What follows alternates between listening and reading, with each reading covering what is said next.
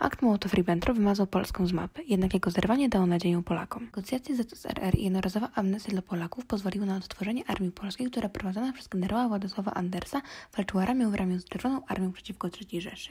Odtworzenie polskiej armii dało nadzieję, lecz warunki, w których armia Andersa pracowała, były bolesne.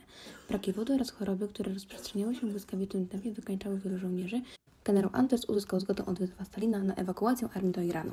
Żołnierze ze smutkiem pożegnali się z polskimi lasami, zwierzętami, orłami i niedźwiedziami. Aby dostać się do Iranu, przepłynęli Morze Kaspijskie, a wraz z nimi tysiące cywilów, którymi głównie były dzieci.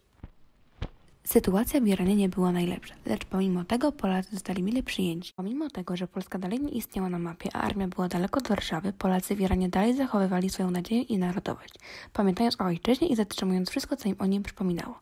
Taką rzeczą był m.in. niedźwiedź Wojtek, który został adoptowany jako małe niedźwiedziątko, które przypominało o polskich niedźwiedziach. Na samym końcu on sam został żołnierzem.